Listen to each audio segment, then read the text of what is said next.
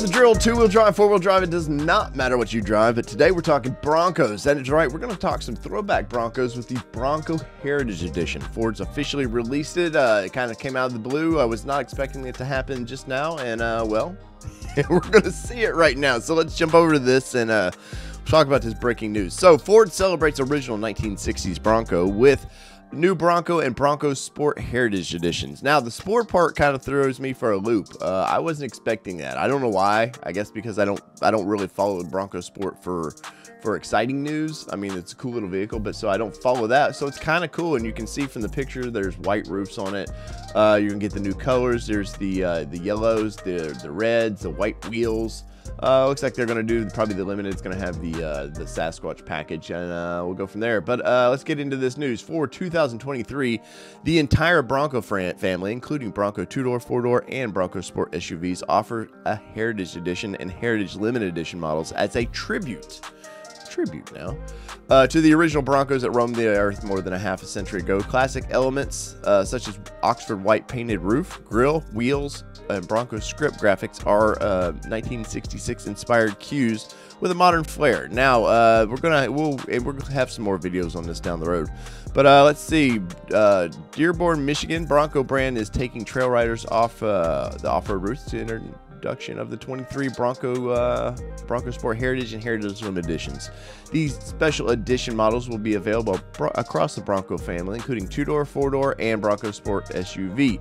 Ford will uh, build the 1966 units each Heritage model to commemorate the year the original Bronco debuted.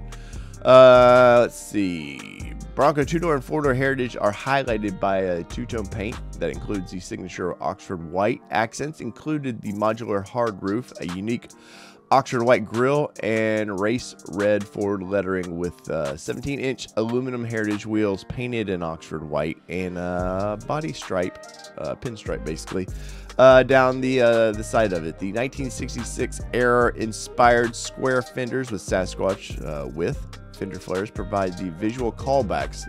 I love that. Saying, well, we might have, uh, we probably should have done it this way.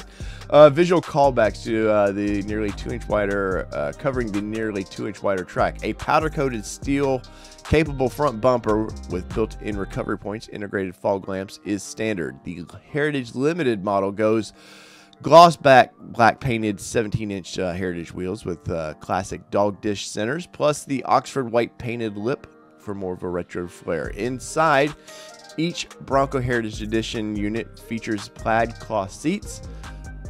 I told y'all they had to do something on the inside, so that's cool. Um, and touches of Oxford White in the instrument panel, center console, badging, and front floor liners. Uh, each each Heritage Edition comes standard with Big Bend series equipment. they love pushing this model that nobody really wanted. Uh, Big Bend uh, series equipment includes features including the 2.3 EcoBoost engine with 7-speed manual. That's nice. Or a 10-speed automatic. The engine delivers up to 300 uh, horsepower and up to 325 uh, foot-pound of torque. Sasquatch package with high performance off-road stability suspension HOSS 2.0 system with uh, long travel Bilstein position sensor dampings and all that. Let's see, standard Goodyear tires, blah blah blah. So we can get that Heritage Edition in the Sasquatch as well. Bronco Heritage Edition is available five paint options. So uh, Robin's uh, Egg Blue, which is throwback color. Uh, Yellowstone Metallic, which, you know, I, I, said a long time ago that color was coming. Um, based on Prairie Yellow. And uh, Peak Blue is planned for the 2024 model year. Heritage, wow. Why are we even talking about it then? That's that's that's why would you talk about a color that's planned for two years from now? Anyways, I think they're trying to cause people to that they still got this backload of orders. They're causing people to go, oh, let's switch. I'm just gonna wait. I'm gonna wait for that color. Uh, Bronco we're not going to get into that, but let's look at a couple pictures here. We're doing this on the fly, so bear with me. Uh, let's see, more pictures. Must have pictures now. Uh, let's see good. There, so there is the uh, the Yellowstone. Uh, looks pretty good. I like the in. If you look at the wheels, the inside trim is uh is all white. It looks really good. Pretty nice little throwback color there. Um, and you're gonna see these all over. Now here's here's what I wanted to see was the um, the interior. So uh, you can see white, white dash, kind of. We've seen this. We've seen this. This is with the red kind of trim. We've seen that kind of Nintendo look. Uh, the brown seats look great. So um, yeah, no, very impressive. Um, let's see, we got more pictures here. Let's go through two. Ah, the script. This is why this is why Bronco or everybody was getting shut down with this stuff is because they were planning. This is a Bronco Sport. Cool throwback that they're using the old Bronco Sport uh, badging like that. But uh, very nice throwback to that. Um, I'm not sure that I, I much care for this uh, this uh, pinstriping with the uh, the badging there. I think uh, where people were putting it, they nailed it. But Ford didn't want to, you know, you know they didn't want to be like, well, uh, yeah, they were doing it better than we were. But there, look at that. Look at those plaid seats. That's pretty crazy. I like it. Um, I like the white dash in there. It's going to show dirt like crazy, but who cares? Because it's the Heritage Edition. So um, there you go. Uh, we'll have more news on this. I'm sure you'll you'll see it everywhere. But uh, I wanted to jump in and get into this real quick and uh, give you my thoughts and opinions. Uh, final thoughts: the white top looks great. We knew it would. The pinstriping doesn't look bad. I'm not big on where they put the Bronco there. I still think you should have put it down here. but the uh, the red Ford looks great. Very. This is a good throwback. This is a nice. It's better than we thought it was going to be.